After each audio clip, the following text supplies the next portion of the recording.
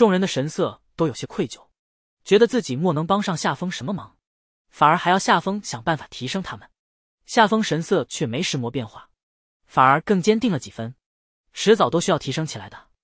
夏天明劝不动夏风，索性说起梦境珠里奇怪的事情，不知道是不是外界的原因，你这里似乎也隐隐带了点死气。夏风一怔，然后忽然想起来什么一样，笑着开口道：“这个和外界倒是没石魔关系，主要是我抓的一个俘虏。”他招了招手，之前抓住的十二冥王之一的头颅就从一旁的山脉底部浮现出来，闪现到了他的掌心之中。即便已经死掉了，属于冥王的威压也依旧让周围的一切产生一些扭曲。夏天明只觉得呼吸困难，情不自禁的往后退了好几步，就连他都有些承受不住。利刃夏帝和夏父夏母表现的就更加狼狈了，脸色几乎是瞬间就变得难看了起来，像是被什么东西掐住了脖子一样，脸色瞬间变得涨红起来，隐隐有些黑雾在众人的脸上弥漫。夏风瞬间就反应过来，把一层透明的光照笼罩在那个骷髅脑袋上，他微微蹙眉，梦境珠里瞬间浮现起一层浓郁的生命之力，众人的脸色也肉眼可见的恢复了过来。夏天明抿着嘴唇。这是什么？这和外面的那些存在是一样的吗？你在神域面对的就是这种强度的敌人吗？他顿了顿，目光带着几分震惊的开口道：“只是存在就让我们觉得呼吸不畅。你如今的境界到底修炼到什么程度了？”夏风没有回答这个问题，而是答非所问的开口道：“如今十大神域都被魔冥两界给入侵了，他们的最终目的就在藏神谷。我准备带着我的妻子进去。”再探索一番藏神谷，先找出他们到底想要做什么。他的目光阴沉的落在了那个骷髅脑袋上，让他脑袋上笼罩的黑雾颤了几颤，却还是躺在夏风的掌心里装死，一个字也没有说。夏风轻哼了一声：“留着你就是为了问些消息的。既然你什么都不知道，那我留着你又有何用？”说完以后，他掌心里的生命之力越发浓郁，似乎下一瞬就要把对方给彻底摧毁一样。骷髅脑袋急忙开口道：“我不是不说，是有些事情根本没有办法开口。一旦我开口的话，同样也是死亡。”夏风神色带了几分烦躁，明知道骷髅说的是实话，可还是有些不耐烦。骷髅脑袋看出了他的烦躁，连忙开口补救道：“虽然我不能说最终目的，但我能说别的。无极神域已经彻底沦陷了，他们就是凭借那条通道才入侵的大夏。如果通道不被找出来，”还会有源源不断的恶魔和死神出现，等到数量累积到一定程度，即便大夏曾经是众神之地，也没办法再压制我们的等级修为。没了这众束缚，明神大人就能带领我们进入最终之地。夏风身上的那种烦躁之感越发浓郁，似乎对方提起藏神谷对他来说就是一种挑衅。众女察觉到不对劲儿，孙雅竹上前一步按住他的肩膀，神色里带住担忧的开口道。相公，事情还没有发展到最后一步，一切都还来得及，你不要太心急。夏风仿佛回过神来一样，手指微微用力，直接捏爆了掌心里的骷髅脑袋。他竟然不知不觉中被这个冥王给影响了心神。这会儿，骷髅脑袋被捏爆以后，整个梦境珠里的神力瞬间运转起来，清理掉冥王之前留下的那些死气，连带着众人的脸色也和缓了下来。夏风也觉得。心头上笼罩的那层大山被移开了一样，他转头看向夏天明，虽然把冥王给解决掉了，但他给的消息应该是准确的。大夏和无极神域之间应该残留着一条通道，需要把它给找出来。夏天明点了点头。夏风和众女要去葬神谷，肯定没时间去找那条通道。在场的人里，夏天明的修为最高，而且修炼的也是空间大道，让他去找最合适不过了。黄小倩脸上带着纠结之色，犹豫了好半天，还是没有阻拦夏风的计划，只是叮嘱道：“一切小心，以你的自身安全为主。”夏风点了点头，又把自己从天丹秘境里得到的一部分丹药留给了众人，然后才和众人一起从梦境珠里离开。从里面出来的一瞬间，夏风心中似有所感悟，庞福隐约猜到了魔冥两族的目的，但是那灵感来得极快，转瞬即逝。再想去抓，却怎么也抓不到。正巧孙雅竹这会儿叮嘱完众人如何吞噬丹药，转身走向夏风的方向，又把他的那点思绪给打断了。他压下心中的疑惑，带着众女就赶向了葬神谷的方向。之前离开的时候，怨气已经隐隐有些躁动，疯狂的开始向谷外蔓延。如今几人不过是耽搁了一点时间再过来，那些怨气已然把周围十里的范围都给浸染了。夏风的眉头皱得死死的，再这磨下去，不用魔冥两族入侵，只葬神谷出现的异状就足够让整个天元大陆陷入混乱。众女站在他身后，犹豫了一下，开口道：“立阵法吧，再这样下去的话，这些怨气迟早会蔓延出去。”夏风点了点头，忙碌了半日的光景，才把这些怨气给。重新归拢到一起，用阵法困在其中。等忙完了以后，夏风也顾不上休息，急匆匆的带着众女就钻进了葬神谷之中。外围的那些怨气和怨兽也比之前见到的那些要躁动，虽然难不住众女和夏风，却也稍微阻拦了一下他们前进的速度。夏风心中那种不安的感觉更浓了几分，眉头自从进入藏神谷以后就没有解开。以九雾之龙对他的重视，不可能出现这种情况。现在外围就已经这么混乱，那魔就只有一种可能：九雾之龙此时也被什么事情给牵绊住了，根本顾不上管理外面的这些琐事。想到之前夏风长啸时，九雾之龙的龙吟声中带住急迫，夏风心中一凛，速度又快了几分。葬神谷里面的情况比外面还要混乱几分，怨兽们混杂在一起，互相撕咬着。原本这种情况是用来消耗怨气的。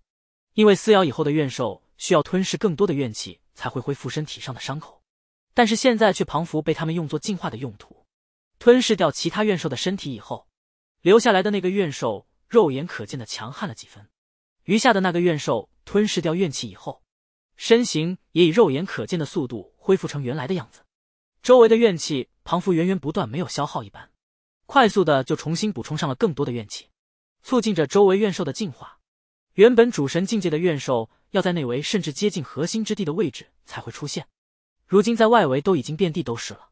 夏风担心这些怨兽会影响到众女，所以每次看到就直接动手给消灭掉了。以他的能力，这些怨兽应该被彻底摧毁，但如今却只是在很远的怨气里面重新孕育，庞佛无穷无尽一样，没有办法彻底消灭掉。夏风的脸色越往里面走，就越是凝重。到后面的时候，他已经顾不上处理这些怨兽，一门心思往核心之地跑。只是在内围的时候，一座古神殿凭空浮现，阻挡了众人前进的步伐。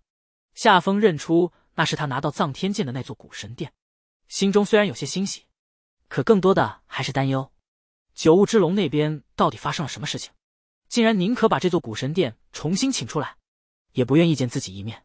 众女跟在夏风身后，面面相觑了几眼。似乎不太确定这古神殿是不是安全的。夏风顿了顿，压下心头的担忧，轻声道：“走吧，这古神殿也是九雾之龙送给咱们的机缘，能够领悟到多少，就全凭自己了。”话音落下，他率先推开了那座厚重悠久的大门，丝丝缕缕的古神力在众人身旁缠绕。等众人全都进入古神殿以后，这座古朴的大门缓慢的关闭上，一缕缕的神火。在大殿中被点燃，把整座古神殿给映照的如同白日一般。众女被这突如其来的光明吓了一跳，神色警惕的环视着周围的情况。夏风给他们递过去一个安抚的眼神，然后转头就看到了墙上的壁画。比起他第一次进来，这次的壁画显得更加真实。上面的古神不断的变化着姿势，时不时的看一眼外面的夏风机人。如果不是有墙壁作为阻隔，夏风隐约都觉得。这些古神快要从壁画上钻出来了，现在虽然没有从墙壁里出来，可却也凑到了离机人比较近的位置。曾经教导过夏风招式的那机位，更是不断的打量着机人。啧啧，小家伙不错嘛，这才过去多长时间，就已经修炼到这种地步。这种天赋，即便是放在我们那个时代，也足够让人惊艳了。现在神力稀薄，空气都被怨气给侵蚀了不少，和我们那个时代简直是没有办法比。在这种情况下，还能修炼到这种地步，不愧是我们看中的人。壁画上的古神们七嘴八舌的说着话，他们语速颇快，时不时的还有一些听不懂的语言夹杂在里面。夏风只听了个囫囵，眼看着周围的这些古神神色兴奋的说来说去，似乎全然不知道外界发生的事情。夏风终于忍不住轻咳了一声。被打断的古神们原本有些不太高兴，但是看着是夏风，便没有多说什么，只是耐住性子询问道：“小家伙，我们夸你，你怎么还看起来不太高兴呢？”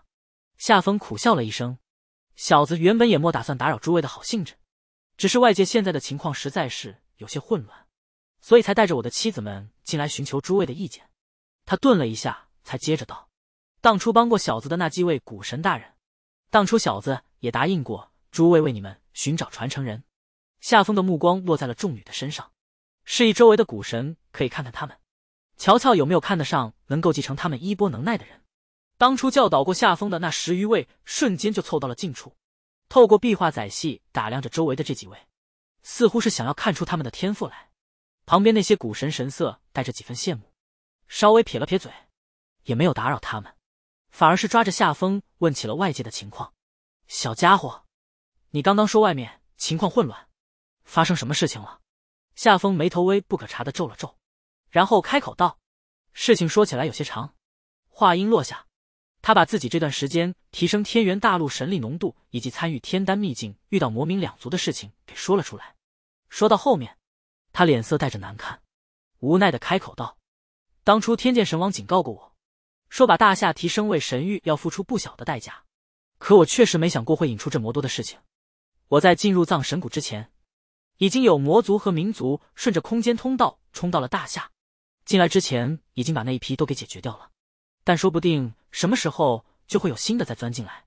再加上周围的怨兽也发生了某种变化，看起来更加活跃，已经蔓延到藏神谷外面去了。这下，原本在一旁打量众女的古神也顾不上看自己的传承人了，神色震惊的凑了过来。这不可能，藏神谷外面有那位大人留下来的阵法，怨气不可能蔓延出去的。即便你把整个天元大陆给提升成神域，对这里面是没有什么影响的。怎么会发生这样的事情呢？对夏风熟悉的那些古神知道他不是个会说谎的性子，心中都升起了不少担忧。夏风叹了口气，现在外界一片混乱。未来可能还会有其他意外发生，我想着带妻子们进来多学一些，也能在未来的混战中多一分活下去的机遇。众古神七嘴八舌的又讨论了起来，议论到一半的时候，不知道谁说了一句：“开天过来了。”话音落下，周围的那些古神一瞬间都安静了下来，在壁画上给他让出了一条道路出来。开天走到了最前面，一双炯炯有神的眸子像是真实的一般，紧紧盯着夏风。你说的那些都是真的。开天古神深吸了一口气，一双手从壁画中探了出来，紧紧的抓着夏风的手腕，似乎想要听到一个确切的答案。夏风点了点头，他说的都是实话，也没有任何夸大，自然不怕他此时的质问。开天古神的脸色变得有些难看，手指捏了一个法诀，似乎在探查什么，又好像是在给什么存在传递消息。过了好半晌以后。那捏出的法诀都没有给开天古神带来什么反馈，他的脸色变得更加难看了。周围那些古神看着开天的脸色，神色也跟着紧张了起来，但是又不敢开口问什么，生怕打扰到开天一般。又过了一会儿，开天古神像是消耗了极大的心血一般，脸色变得都有些难看起来。那位存在的传承，如今也在你身上吧？夏风一怔，不知道他提的是哪一位。开天古神的目光却紧紧的追随着夏风的身影。你能够修炼无名神诀，能够操控星辰之力，能拿起藏天剑，藏神中这些古神器，你身上肯定是有他的传承。他顿了顿，神色严肃的低声询问道：“创世大神的创世神珠，是不是也在你的身上？”夏风身上能和对方口中的创世神珠联系上的东西，也只有梦境珠了。几乎是一想到这里，夏风的神色。就变得警惕了起来。虽然眼前的这些古神看起被束缚在壁画之中，但夏风曾经在壁画里见识过他们的能耐。如果他们对夏风的梦境诛起了心思，夏风也莫把握能够抵挡住这魔多古神的攻击。开天看了一眼身后的古神，皱着眉头解释道：“他们没有别的意思，只是对创世神珠有些好奇罢了。毕竟创世大神已经失去联系很多年了，如今看到了他的传人。”难免会有些好奇是什么样的人，他顿了一下，才补充道：“至于你担心的我们会抢夺创世神珠，就更不用放在心上了。创世大神的强悍不是我们能够挑衅的。别说他只是被调虎离山，离开了这方天地，就算他陨落了，不是他亲自交出来的东西，我们也不敢碰的。后面的祝融轻笑了一声：“开天大人何必说这种话？我们那是不敢碰吗？”共工也跟着笑了起来：“莫大人的允许，那东西我们根本就用不了啊。”夏风眸子微微睁大，全然没有想过这个可能。他原本以为梦镜珠的存在和古神器类似，若是被旁人夺走了，只怕就成了他人的东西。从来都没想过，这位他未曾谋面的创世大神的余威能够震慑住这些人，根本就没有办法对梦镜珠下手。他抿了抿嘴唇，低声询问道：“确实在我手中，只是这东西也不是攻击类型的，即便在我手中，也没有办法解决外面的那些麻烦。”开天挑了一下眉头。我不是让你用创世神珠去对付那些人，而是让你借助创世神珠的时间之力，多留一些时间来接受传承。他指了指自己所在的这面壁画，我们的本体都不在这个空间里，只能通过壁画上留下来的神石来教导你们。如果你能想办法把这座古神殿给搬到创世神珠里，我们就能有更多的时间来传授感悟了。夏风脸上露出震惊的神色，当初他强行把藏神中所在的那个古神殿给。拉进了梦境珠里，虽然有帮衬，但实际上也稍微有些勉强。眼前的古神殿看着就比之前的那座破败神殿要高出不知道多少级，能量强悍又充裕。即便夏风现在境界提升了不少，他也没有信心能够把这个古神殿给迁移到梦境珠里去。他神色带着迟疑：“我怕我的能力还不够。”开天爽朗的笑了起来：“不用担心这个事情，你看着这个神殿十分玄奥，实际上……”只是我们那里和外界的一个链接通道罢了，你不用管，只要你把两界的通道打开，我们会想办法把这个古神殿迁移进去的。他微微叹了一口气，原本是还需要九物帮衬一下，但现在估计他也抽不出时间来。夏风有些好奇的询问道：“我之前听到了九雾之龙的龙吟声，似乎有些急躁，核心之地里到底有什么存在？他又在镇守着什么东西？”开天意味深长的。看了夏风一眼，笑住道：“你和你的妻子们先想办法提升一波吧。你们现在的境界还不足以了解这些事情，知道太多对你们来说不一定是好事情。”说完了以后，他就催促夏风打开创世神珠的通道，准备把整个古神殿给迁移进去。夏风也没有犹豫，当初这些古神对他的照顾，他还记在心里，自然不会怀疑他们会暗害他。特别是现在知道了梦境珠。就是创世神珠，只有经过创世大神认可的他才能使用。知道了这个以后，夏风就更不担心了。转眼的功夫，就把梦境珠的入口给拉到了最大。开天的身子挣扎了好半天，才从壁画中钻出来，打量了一下周围的情况，然后微微点头道：“你修炼的倒是不错，把创世神珠修补的也不错，简直就是另一个神域了。”夏风有心想问这话是什么意思，但是开天已经举住古神殿。开始往梦境珠里转移了，他只能努力维持着周围的空间不崩塌。等古神殿进入梦境珠里以后，夏风就更没有时间去问那个问题了。接二连三的古神从壁画中挣扎着钻了出来，然后开始挑选各自看中的继承者。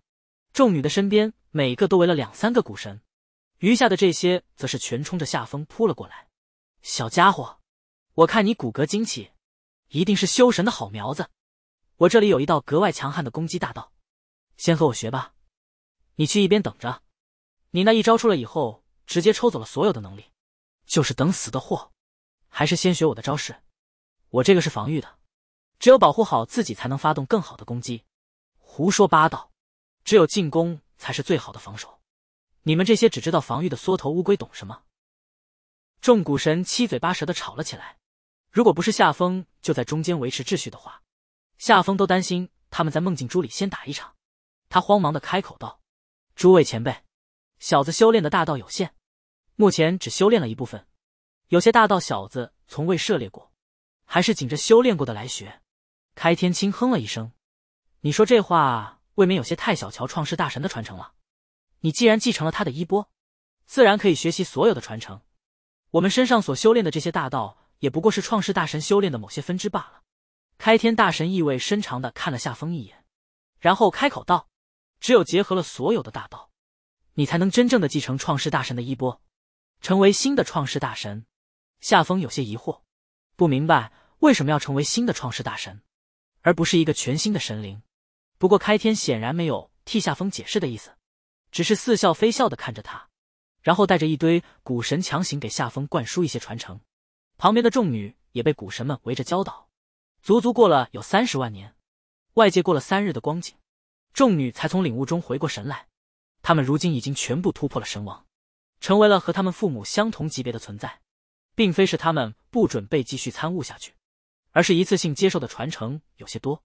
虽然在梦境珠里有时间让他们细细领悟，可领悟到了一定的瓶颈，他们也需要一些实战。和古神们的战斗总觉得缺了一些东西。众女之间的比试又不会真的下死手，让他们有那种致命的危机感。所以众女就提出出去和怨兽或者是异族战斗一番，这样能够更好的巩固他们的基础。夏风此时的修为更加骇人。已经突破到了神君境界，他原本以为自己修炼的大道越来越多，提升的瓶颈也会越来越厚，甚至一度以为自己可能要比众女突破的还要慢上几分。结果经过开天的指导以后，夏风学到了不少的窍门，这些修炼的大道仿佛能够触类旁通一般，相互印证，共同提升，拉扯之下，竟然比夏风之前修炼的速度还要快上几分。所谓的瓶颈仿佛消失了一般。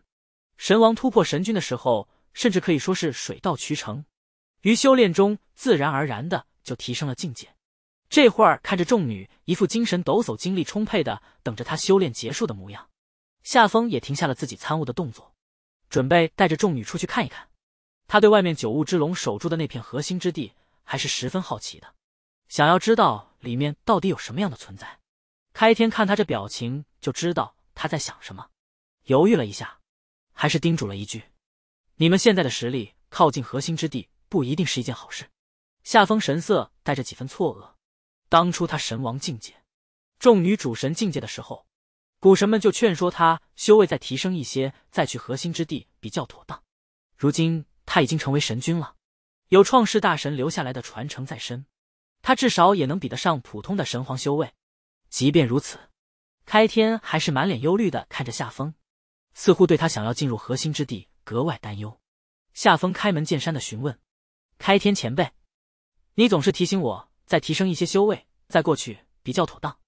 我想问问那里面究竟有什么存在？为什么你们对那里格外忌惮？我需要修炼到什么境界才能过去探查一下其中的情况？”开天一双剑眉皱了起来，看着夏风的神色里带住犹豫，似乎不确定自己应不应该告诉他。夏风的神色带住坚定。无论开天面容怎么变化，怎么纠结，就是坚决的站在这里，想要知道事情的真相。开天无奈的叹了一口气，只摆了摆手：“算了，既然你这么坚持，那你就亲自去看一看吧。只是你是稍微小心一些，外面的怨气都已经翻涌得溢出阵法了，核心之地只怕也不平静。稍微离得远些，离得太近被波及到了，九雾如今恐怕顾不上你们。”夏风皱着眉头，还想再问些什么。开天摇了摇头，直接钻回了壁画之中，不打算再回答夏风的任何问题了。夏风神色带着几分沉凝，也没再追问，带着众女就离开了梦境珠，往核心之地赶了过去。越靠近核心之地，那重威压就越是明显。众女的神色明显有些吃力，要费不小的力气才能往前行走一步。夏风能够感觉到怨气的翻涌。连带着浓郁的魔气和冥气，几乎要把机人给彻底吞噬掉一般。中心的位置，除了九雾之龙的威压以外，还有两道说不清道不明的诡异气息。即便是隔着这么远的距离，都能察觉到对方带给自己的压力。夏风停在了核心之地的边缘，没有再往里面踏入。他隐隐有重感觉，一旦自己踏入核心之地，那两道诡异的气息会瞬间把自己卷走。九雾之龙虽然强悍。但面对这两道诡异的气息，似乎也有些气弱，可能顾不上保护夏风。思来想去，夏风停在了浓雾外面，抿着嘴唇思考着其中的情况。那两道诡异的气息和外面的冥气魔气有所牵连，想必是那两界的大佬。这魔说来，核心之地恐怕就是封印两界通道的地方。那两道诡异的气息就是魔冥两族中的大能，此时在和九雾之龙互相试探，想要借机打破这道封印。外面那些异族疯狂的想要靠近藏神谷，恐怕就是想要把九雾之龙给彻底压制住。然后彻底打通两界通道，到时候藏神谷就会成为魔冥两族的根据地。整个大夏根本没有任何反抗的能力。夏风越想，背后的冷汗就越多，神色也越发冷峻，看向核心之地的目光也越发凝重起来。众女虽然不明所以，但还是站在他的身后，等住他的决定。夏风抿着嘴唇，刚准备动作，身上的梦境珠却微微有些发烫，似乎在提醒什么一样。他神色带着几分错愕，把探索核心之地的想法压下来去，准备回梦境珠里看看发生了什么事情。毕竟。自从他得到梦境珠以来，就没有发生过这样的事情。夏风和众女回到梦境珠的时候，夏天明已经在里面等了有一会儿了。夏风神色带着几分疑惑，他一直在外面，也没有试着拉夏天明进来。为什么他能够直接进入梦境珠呢？开天从壁画上探了个脑袋，刚刚就感觉到了那边的波动。我仔细分辨了一下，是经常进入创世神珠的人，看着也没有什么危险。就直接通过我们的这条通道给放进来了。他说有要紧事要找你，你先看看是什么事情吧。夏风转头看向夏天明，果然看到他脸上带着点焦急，怔了一下，询问道：“爷爷，是外界又发生了什么事情了吗？魔冥两族再度入侵了？”夏天明皱着眉头道：“也不算全面入侵，只是我找到了无极神域到大夏的空间虫洞。”他顿了顿，神色带着点无奈的开口。实际上，昨天就已经找到这个位置了，也把零星钻出来的异族给解决掉了。我原本想着自己把这个空间给摧毁掉，省得再添那么多麻烦。但是发现魔族是真的很擅长虚空之道，尝试了好几次都没有破坏掉那个基点，只能过来找你，看看你这边有没有什么办法。夏风还没有开口，壁画上的虚空古神就已经带着几分鄙夷的开口了：“那些魔族算什么？擅长虚空之道？”不过是一群小偷罢了。所谓的虚空一道，需要参悟的事情多得很。小家伙，你家的这位长辈连门都莫彻底迈入。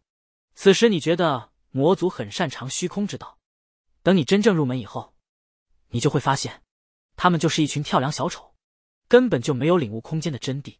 所谓的虚空之道，就只是镜中花，水中月，不值一提罢了。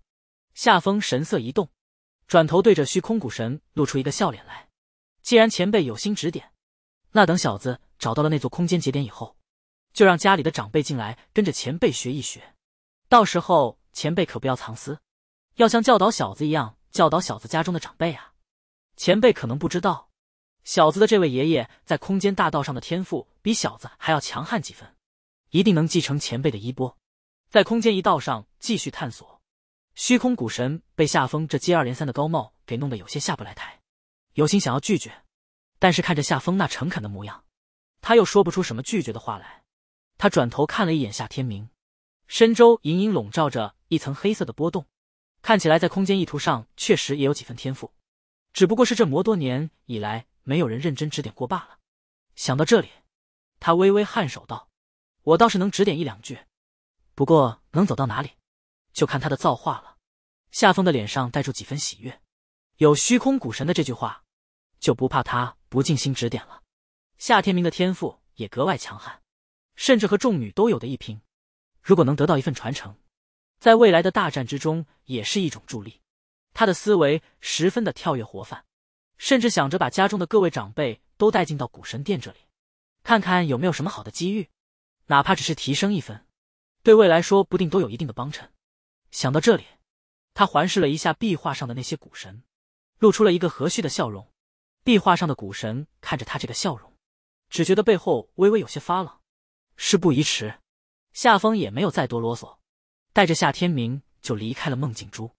等夏天明指了方向以后，更是马不停蹄的往空间节点的位置瞬移。夏天明出来以后，才带出几分好奇的询问道：“你那个世界里怎么多了那么多不知名的存在？我记得上次进入的时候还没有这些神灵存在，还是以这种特殊的方式。”夏风语速偏快的给夏天明解释了一下古神殿的来源，并且提了一下壁画上的那些存在全都是古神级别的，让夏天明回到梦境珠里以后好好跟着他们参悟。夏天明被满壁画的古神给吓住了，他原本见过最犟的人就是天剑神王，哪里见过这重阵仗？之前不知道的时候，他还有点不服气，那位虚空古神说他空间一道没有入门，这会儿知道了那位的身份，哪里还会在意这句话？满心满眼的都是一会儿要进去把虚空古神的知识给掏空。等抵达了空间节点以后，夏风直接就把夏天明给塞进了梦境珠，抽出藏天剑就开始解决周围堆积的这些恶魔和死神。这些都是通过空间节点传送过来的杂碎，夏风一个人就能轻而易举的解决掉。周围还围着不少大夏的士兵，连带住利刃下地也都在这里。夏风解决掉周围的这些恶魔和死神以后，没有第一时间摧毁这处节点，反而神色带住点若有所思。夏乃文不知道他在想什么，神色带住担忧的开口询问：“你爷爷说这处空间节点很古怪，他试着摧毁了好几次都没有得到什么结果。你看看有机会暴力摧毁吗？如果摧毁不掉的话。”我就再安置一些士兵在这周围，如果出了大面积入侵，咱们也好提前反应一下。夏风回过神来，笑住道：“摧毁这里十分简单，只是就这魔摧毁了，难免有些可惜。”他顿了顿，才补充道：“父亲带着长辈们继续固守在这里吧，我去无极神域看看那边的情况。”夏乃文的脸色瞬间变了。之前那个冥王不是说无极神域已经被彻底侵占了吗？你一个人过去实在是太危险了。不能让你冒这个风险。众女犹豫了一瞬，然后站在了夏风身后，道：“父亲，既然相公想去，那肯定是有他的打算。我们都跟着相公一起，如果有什么事情，也能帮衬一二。他们如今都已经是神王了，说这话的时候自然有底气。”夏乃文虽然还是十分担忧，但是看着众人坚定的神色，也知道自己劝不动他，只能无奈的叹了一口气。罢了，你如今也长大了。心中有自己的章程，我便不妨碍你的想法。你想怎么做，就尽管去试一试吧。夏风这边马不停蹄的带着众女就钻进了空间节点之中，顺着那条通道就开始向无极神域前进。他还记得当初在大夏神都外，东方神王对着他那副咬牙切齿的模样，当时被天剑神王给阻拦住了。可夏风却记住了他的嘴脸，当时就想着日后定有一日会连本带利的讨回来。如今机会来了，夏风自然不会错过这个解决麻烦的时机。这条空间虫洞被修得七扭八歪的，也难怪这魔难找到。毕竟魔族在虚空意图上还是有点天赋的。夏风当时确实是把所有的空间节点都给震碎了，整个无极神域的空间大道也被抽吸的几乎没有了。这会儿能凭借着那一点微薄的空间之力构建出这么一条通道来，即便扭曲了一点但也算是挺了不起的。只不过夏风如今也继承了虚空古神的传承，对这种通道自然是看不太上的。稍微动用了一点空间之力，就把这条通道给修正的平平整整的。萧晴雪秀眉轻蹙，把这通道修的这么好做什么？万一魔族偷偷钻进来怎么办？岂不是平白便宜了他们？夏风笑着揉了揉他的脑袋，咱们一同前往无极神域，哪里会给异族钻进空间通道的机会？你是不相信自己，还是不相信我呀？萧晴雪的脸颊微微有些红润，但是又嘴硬的不肯承认，只小声嘟囔道：“不怕一万，就怕万一嘛。”夏风脸上的笑意更浓，放心吧，你相公不会犯这种低级错误的。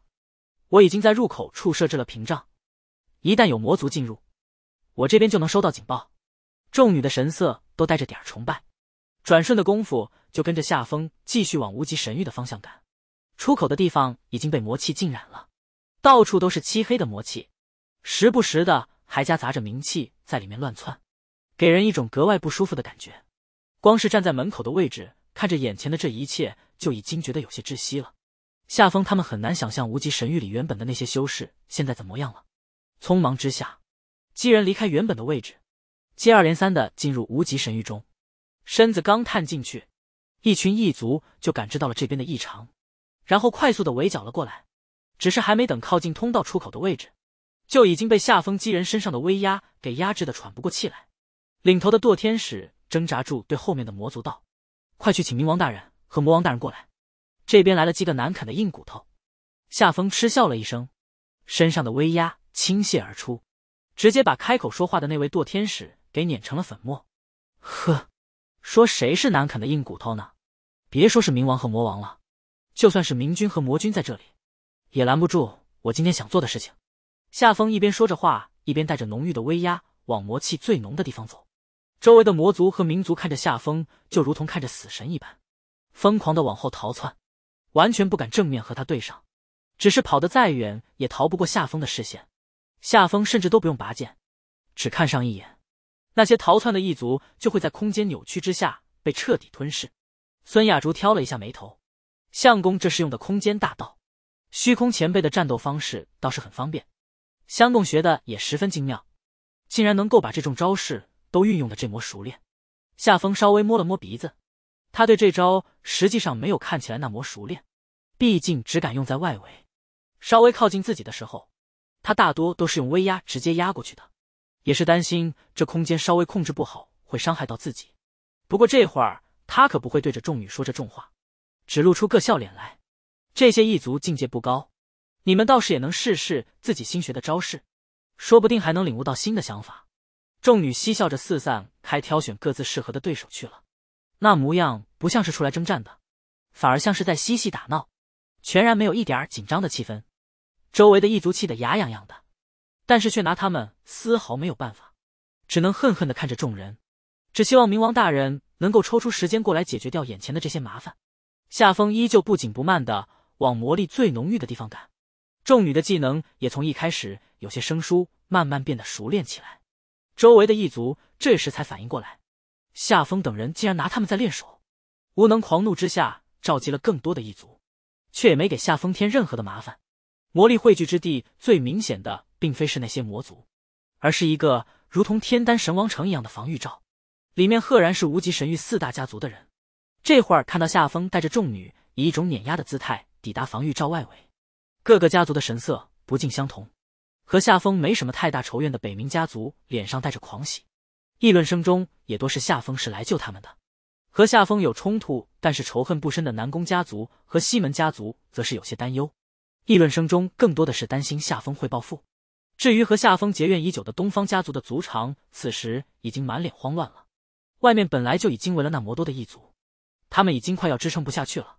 虽然已经给十大神域都发了求救信号，可是等了这么久都没有等来救援，想必那边也是凶多吉少。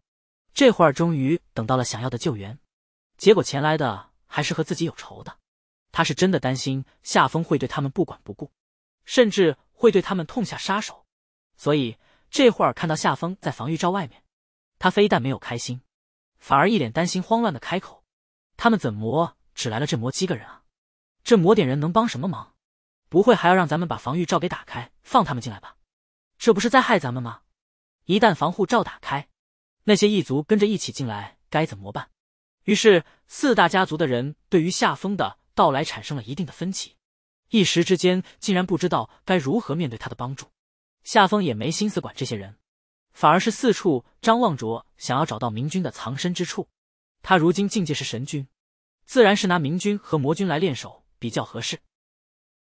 殊不知，夏风的这个动作让四大家族的人更加误会了，以为他想要进入防御罩中。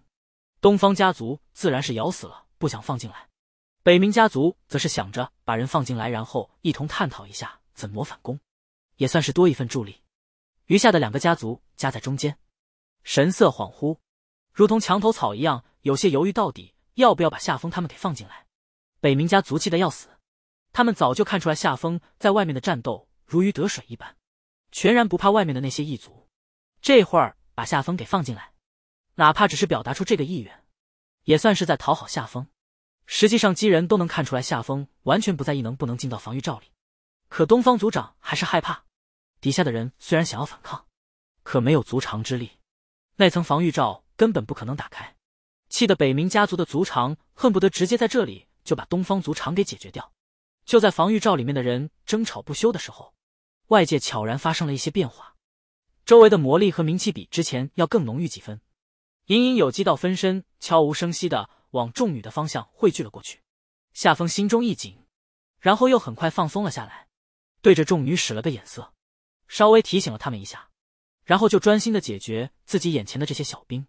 他可是见过之前的一个冥王，直接把周围的小兵给吞噬掉，然后差不多满血复活了。这会儿要面临明君和魔君，夏风也要稍微防备一下。狮子搏兔尚且全力以赴，夏风可不愿意在这种地方阴沟翻船。众女那边装作毫无察觉的模样，任由那些黑雾分身将他们给包围在其中，然后趁着黑雾攻击他们的时候，快速的组建起十绝阵进行反击。明军和魔军的本体联手对着夏风的方向倾压了过来，两相裹挟之下，夏风竟隐隐有重呼吸困难的感觉。他唇角勾起一丝冷笑，身上的威压毫不掩饰的压制回去，引得对面的两位忍不住惊呼出声：“神君！”这怎么可能？这片神域怎么可能有神君存在？这里面的神力不是已经被魔族给吞噬干净了吗？怎么还能有人突破到这种境界？两个异族神色震惊，动作却丝毫不留情，下手一次比一次狠辣，操纵着魔力和名力，不断的碾压着夏风周围的空间。夏风神色更冷，手中的藏天剑抽出，藏神中也开始震荡起来，让对面的魔君和明君身周的气息都变得震荡起来。防御罩里的四大家族已经彻底震惊了，他们甚至怀疑自己的耳朵是不是出了问题。如果没听错的话，刚刚那两位说夏风竟然是神君。要知道，整个神域已经许多年没有神君诞生了，即便是天赋最强的天剑神王卡在神王境界也无数年了。大家都以为三界大战后，大道被打断，神域里根本就没有希望再诞生新的神君了。可如今夏风竟然突破了。北冥族长眸紫微微睁大，回忆着夏风的具体情况。这小子才多大啊，竟然就直接修炼到神君了！他们这些修炼了这么多年才刚刚突破神王的修士，和他一比，简直就可以去死了。东方族长心中的慌乱越发明显，他怎么也没想到，当初需要在天剑神王庇护下才得以存活的小子，这么短的时间里竟然就突破到了神君，比他还要高一个层次。他忍不住想。如果夏风对他之前做的事情十分生气，准备报复他的话，他又该怎么应对？外面打得昏天黑地的，防御罩里的人族也面面相觑，心中各有心思。就在夏风提剑把魔君和明君的灵魂彻底搅碎的时候，防御罩里也发生了异变。南宫家族和西门家族的人竟然联手把东方家族的人给屠杀了。东方家族的人原本还在惶恐夏风会怎么对待他们，对身旁的这些人。完全没有防备，而南宫家族和西门家族的人动手既狠辣又迅速，眨眼的功夫就杀了东方家族一半的人，余下的那一半再想反抗已经迟了。两个家族联手，甚至连东方家族里的幼童都没有放过。等夏风解决完魔君和明君的时候，东方家族的人已经一个不剩了。南宫家族和西门家族的人脸上还带着几分喜意，拎着东方族长的头颅想要找夏风领赏。但是夏风看都莫看他们一眼，反而看向了一旁的北冥族长。两个家族动手的时候，也试着拉拢北冥族长一起。只是北冥族长觉得东方家族的人虽然有错，但怎么审判也该是夏风来决定，索性就没有跟着插手。这会儿被夏风看了一眼，心中还有点惶恐，担心他对自己的行动有些不满。结果夏风却对着他点了点头：“你性子不错。”想必带领的家族也有自己的优势，稍微收拾一番，等会儿跟着我回大夏，我先把周围的这些异族给解决掉，然后断了这边的通道。话音落下，他也没有等北冥族长反应，转身就提着藏天剑清剿周围的那些异族去了。南宫族长和西门族长看向北冥族长的神色里带着浓浓的嫉妒，但是又不敢做些什么，生怕惹了夏风的恼怒。北冥族长背后一冷，扯出个笑容出来道。两位兄弟能留在这里也算是一件好事。南宫族长冷笑一声：“北冥族长如今抱上了大腿，这是来嘲笑我们的吗？”北冥族长解释道：“哪里哪里，我只是觉得异族清洗过的无极神域变得更加空旷了。如今东方族长身亡，我也要带着族群离开无极神域。这魔广敖的地方，未来只有你们两家了。”他露出个笑容出来：“到时候就是你们两位来均分这一整个神域了。”比起寄人篱下，还是自己当家做主更舒服一些啊！南宫族长和西门族长对视了一眼，忽然觉得北冥族长说的这个话也有一定的道理，索性不再盯着他，反而两人聚在一起谈论着如何瓜分这个神域。夏风懒得去寻找空间通道的位置，索性抓了不少魔族逼问，然后互相印证他们说的话是不是真的。这一招下来，魔族们不敢隐瞒，直接一股脑的。把所有的消息都给说了出来，夏风也不着急，带着这些魔族接二连三的把空间节点给摧毁掉。等到所有魔族都说没有了的时候，他还不放心的摇了摇藏神钟，探测了一下无极神域的具体情况，确定没有空间节点以后，夏风就准备带着北冥家族的人回大夏。南宫家族和西门家族的人竟然没有多说什么，让夏风有些疑惑的多看了几眼。南宫族长露出一个有些谄媚的笑容：“大人，冤有头债有主，当年那些事情大多都是东方家族做下的，我们也没有做什么。无极神域就这摩丁大点的地方，您肯定也瞧不上。我们两族留下来就守着这里，如果有异族入侵，肯定会第一时间和您传消息。”旁边的西门族长把他给挤走。脸上也挂着一模一样的谄媚笑容。大人，之前那两个异族说您修炼到神君境界了，是真的吗？他搓了搓手，脸上带着羡慕和嫉妒，讨好的接着道：“这么多年都没人能突破到神君，不知道大人是得了什么方子，还是有了什么传承？能不能和我们也说一说，让我们日后也有个盼头？”夏风眸子微眯，似笑非笑的打量着这两个心怀鬼胎的人，和你们说。也不是不行，如果你们放弃无极神域，和我去大夏，成为大夏的家臣，我倒是也能把这个方法教给你们。不过能不能突破，那就要看各自的天赋了。他原本就有心提升一下十大神域里的战力，为即将到来的大混战做准备。反正现在确定了梦境诸世创世大神的传承，别人没有办法操控以后，夏风自然放心把这些人给带进去提升境界。只是他又不是什么圣母。当初东方家族针对他，西门家族和南宫家族也给他下了不少绊子，他不可能以德报怨，平白无故的就让他们进去，总是要让他们付出一些代价的。如果两大家族愿意放弃无极神域的这些东西，跟着他回大夏，然后立誓对大夏俯首称臣，他倒是也不介意大夏再多出一股战力。不然的话，他凭什么提升这些阴险狡诈的人？西门族长的脸上带了点犹豫，似乎有些心动。虽然无极神域留下来的这一大摊子让他十分垂涎，可是比起提升自己的修为来说，这些外物反而不算什么了。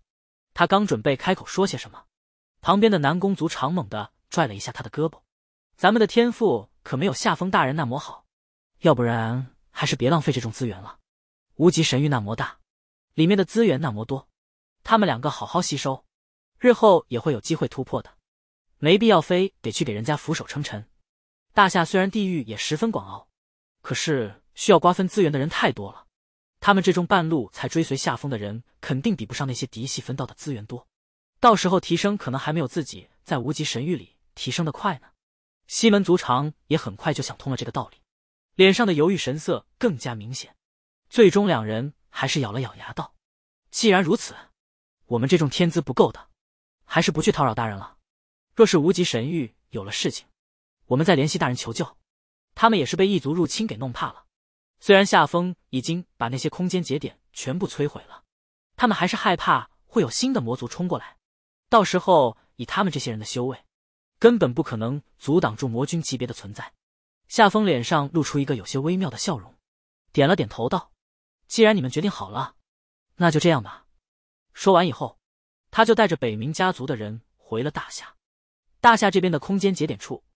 利刃下帝还守在这周围，担心夏风离开以后会有魔族顺住这条空间节点钻到大夏来肆虐。这会儿看着夏风出来以后，他们才松了一口气，有些疑惑的询问起后面带回来的那些人是什么身份。夏风也莫多解释，只是提了一句：“如今大战在即，还是要多一些帮手才比较合适。”利刃下帝瞬间明悟了夏风意图，分出来几个勾着北冥族长的肩膀，就嘻嘻哈哈的去交流感情了。倒是夏乃文听出了夏风的言外之意，神色带着几分担忧的开口：“凡儿，你的意思是要把那方空间展示出来？那东西的存在可是个逆天的好东西，若是让这些人知道了，岂不是又要生起觊觎的心思？当初一件古神器就引得东方家族的人把你爷爷带走，受了那魔多的折磨。如今这逆天的宝贝让这魔多人都知道，他们该不会又起了什么抢夺的想法吧？”夏风知道父亲是担心自己。露出个笑容道：“放心吧，你儿子现在修为强悍，这些人抢不过我的。而且，这东西是传承，即便他们想抢，也抢不走的。”夏乃文看他心里有数，就也不多劝，反而露出一副有些得意的神色。哈哈，我儿子就是厉害。说完就摇头晃脑的离开了，留下夏风站在原地笑了笑，然后带着众女回到了自己的神君殿。门口的牌匾是新换上的，夏风总觉得或许过不了多久，这牌匾上面的字可能就又要换一个了。不过这话说出来实在是有些太过炫耀了。夏风招呼着众女进了神殿以后，就开始试着跨界沟通其他神域里的神王。神王是没有这个能力的。之前看天剑神王传递消息的时候那么费劲，他就已经明白了。这会儿也不过是做一个尝试，他自己也没想过能够这么顺利的就做到了，甚至都不是一个一个联系的，他的神识直接跨越了通道，然后同时连接上了十位神王。虽然这重链接因为距离遥远还有些断断续续的。但也足够让夏风隔空传音一些消息过去了。接到消息的神王全部都震惊了，他们没见到现在的夏风，不知道他已经突破到了神君的境界。可是他们这些神王都做不到的事情，夏风就这魔签一举做到了，反而让他们更加紧张。夏风隔空传音的时候也没有多解释，只是邀请十大神王来大夏神域商谈事情。等消息传达完毕以后，这些正在安排抵御一族的神王。眸子都下意识的睁大了，心中多了几分惊慌。见过夏风的那几位神王还好，对夏风的印象都不错。天剑神王更是十分信任夏风。没见过夏风的那几位神王，对他这个便宜女婿的想法，最多就是下界的泥腿子，勾引了自家女儿，最多公允的说一句：这小子的天赋是真的不错，修炼速度挺快的。可是再快，他们也没想到今天会受到这样的惊吓。当初夏风还能够进入天丹秘境。修为肯定没有突破主神，就算是根据传言拿到了天丹，也最多突破到一品神王的境界。这怎么短短几天没见，修为就好像坐火箭一样，让他们都有些看不明白了。这种隔空传音的手法，即便是他们这些老牌神王都做不到啊！十大神王的神色带着几分莫名，心中都打定主意要去大夏看看自己这位便宜女婿，顺便和自己的女儿联络一下感情。看看日后有没有机会把夏风给拉入自己的神域之中。夏风的隔空传音送达，没有半个时辰，十大神王就接二连三的出现在了夏风的院子里。每一位抵达的神王脸上都露出了惊骇的神色，看着门口牌匾上的神君殿，有些回不过神来。直到众女把他们搀扶进大殿里，他们才彷佛回过神来一样，颤抖着嘴唇询问道：“这东西可不能随便乱挂呀，这……”这是要按照境界。孙雅竹性子最爽朗，笑着开口道：“相公就是修炼到这个境界了。其实我们也能立神王殿了，只不过想和相公住在一起，毕竟夫妻也不好分开，所以就遵循了相公的境界。不过想来很快就能再换一个牌匾了。”神王们被这接二连三的消息震惊到脑袋发晕，甚至都没有发现大夏的神力比起十大神域来说还要浓郁几分。他们抓着自己的女儿。满脸震撼的追问：“你们修炼到神王了？这怎么可能？你们才多大呀，就修炼到神王了？而且你们大部分时间都是在下界，到底是怎么修炼的？”李清雪带着几分得意的开口：“我相公和我岁数差不多，都超过我们一个大境界了呢。我们修炼到神王又算得了什么？至于怎么修炼的，相公这次邀请各位过来，就是准备要商量这件事情。事不宜迟。”还是早些开始，别耽误了相公的正事吧。他这副口吻，让几个掌控欲比较强的神王稍微皱了皱眉头。他们有好几个还不愿意承认夏风成了他们的女婿。这会儿，李清雪和孙雅竹一口一个相公，一口一个夫妻，让他们听着格外的不顺耳。只是如今夏风已经突破到神君境界了，就连自己曾经没有在意过的便宜女儿，都已经突破到神王境界了。他们即便有心想要训斥两句。也不知道该怎么说出口，几人神色扭曲的进了大殿之中。夏风已经坐在了主位上，桌面上也摆了不少琼浆来迎接他们。十大神王面面相觑了几眼，压下心中的疑惑，先坐在了座位上。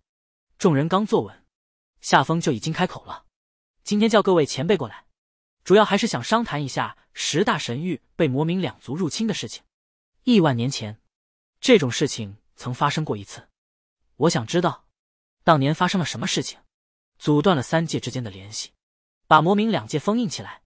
这魔多年都莫能破戒。十大神王的脸色骤然变了，变得有些难看，似乎有什么难以启齿的事情无法说出口一般。夏风笑了笑：“我并没有逼迫诸位的意思，只是想知道当年的真相。毕竟十大神域里，如今我的修为最高，只有知道当年的反抗经过，我才能安排。”话音未落，天剑神王率先开口道：“这和修为没有什么关系，只是你年纪小，幼长在下。”常在大夏，所以不知道其中的关窍。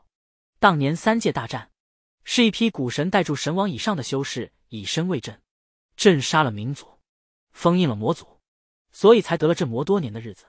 如今封印不知什么缘故有些松动，所以有一些小喽啰钻出来找我们的麻烦。旁边的离火神王补充道：“确实是这样的，这种事情没办法重负。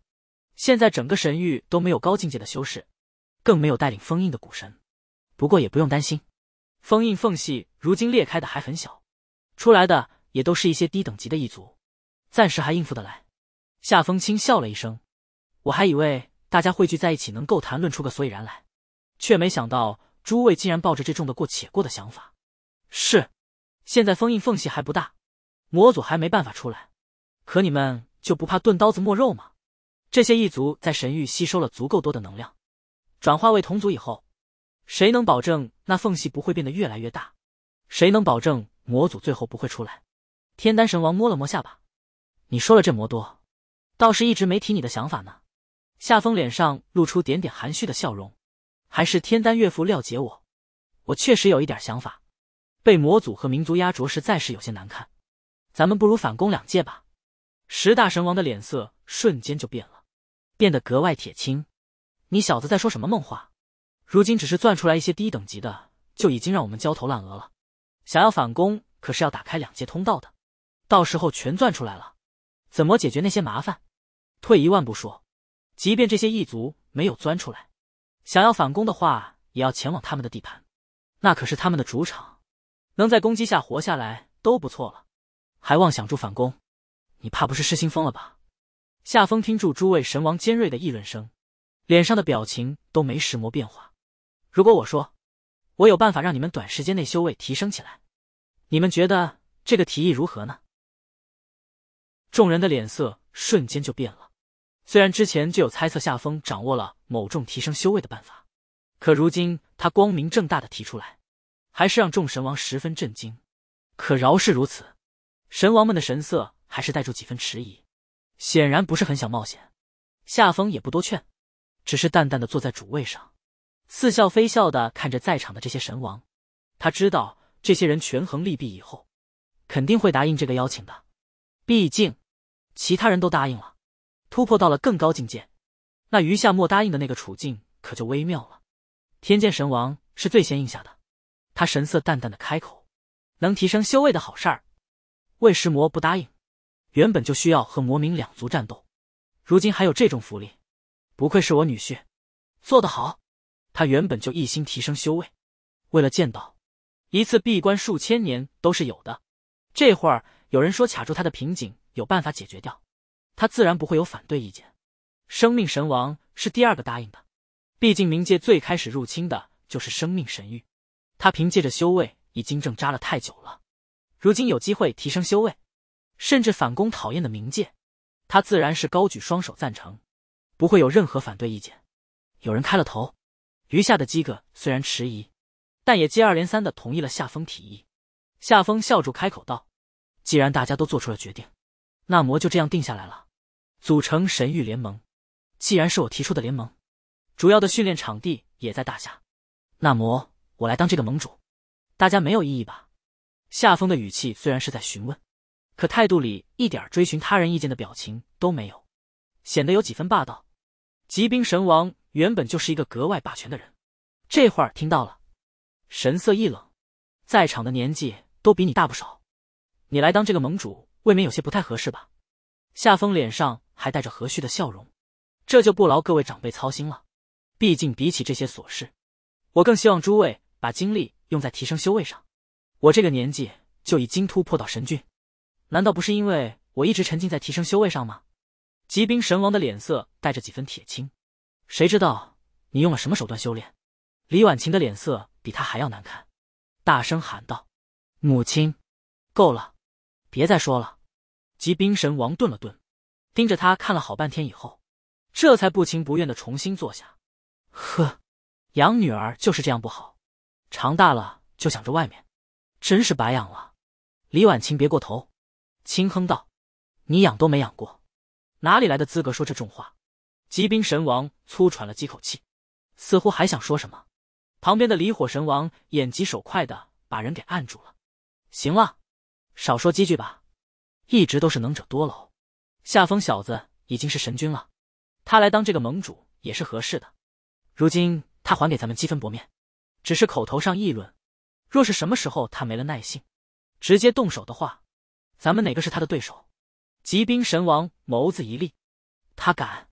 虽然这么说，但他却没有再找什么其他的事情，老老实实的坐着听夏风的安排，只是脸色还稍微有些臭罢了。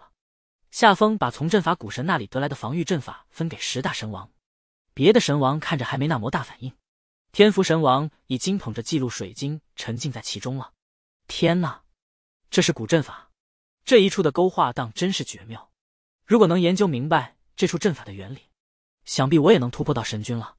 好小子，你手里是不是有一份阵法古神的传承？夏风脸上带着笑容，没有回答这个问题。旁边的几个古神听说研究明白这个阵符，天符神王就能突破到神君，一个接一个的都有些着急了。夏风小子，这种好东西还有没有？我们又不是修炼天符大道的，这东西给我们也钻研不透啊。夏风摆了摆手，放心吧，各位每一个人都有。这阵法是让诸位带回去布置在神王城里的，有这阵法护城，即便各位不在，也能坚持上一百年的时间。光提升诸位的修为还不够，我还需要更多的修士，所以各位回去以后，每位挑选十万精英一同来大夏。他稍微计算了一下，历任夏帝、夏父、夏母，加上大夏那些追随了他许多年的士兵，人数已经不少了。只是他们的境界比较低，想要修炼到更高层次，需要的时间也多，不如直接和十大神王要百万精英，这样还能省点力气。不过。他也不会要太多的人数，每个神域要的精英都是相同的，省得解决掉魔冥两界以后，众神王再起别的征战心思。众神王很快就明白了夏风的想法，看向他的眼神多了几分审视。你小子倒是有几分想法，不过这阵法真的能支撑百年吗？如果我们离开的过程中，这阵法破了，我又把城里的精英都带走了，这不是要那些普通修士的命吗？夏风还莫等解释。旁边的天福神王满脸潮红的解释道：“这阵法别说是支撑百年了，只要阵法中还有人存在，就是支撑上千年也不成问题。这小子可真是大方，这重珍贵的好东西，眼皮都不眨一下的就拿出来了。你们要知道，这重阵法比咱们现在城里刻画的那些还要精妙。若是他开口要换东西的话，只怕那些隐世家族的人都愿意倾家荡产的来兑换。”他脸上带着开心的笑容，忽然觉得自己女儿。跟了这魔一个有能耐的女婿也挺不错的，他甚至都能得到一点好处，那他女儿得到的好处岂不是更多吗？想到这里，他脸上的笑容更加明显了几分。旁边的十大神王看到他那副不值钱的样子，都有些不忍直视。不过他们也知道天福神王的性子从来不会夸大某重东西，所以自己手里的这套阵法可能真的是一件保命用的绝佳阵符。想到这里，他们对视了一眼，纷纷开口道。我们这就回去安排阵法，然后各自带十万精英过来。